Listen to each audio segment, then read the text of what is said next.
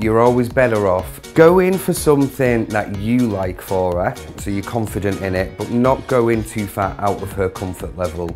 So if she's into florals, then you can always go top version. You could go, maybe go for a jacket, something a bit cooler that she wouldn't normally wear. And just giving her an insight into what you also think would suit her, apart from the things she already wears. People can get stuck in a bit of a rut.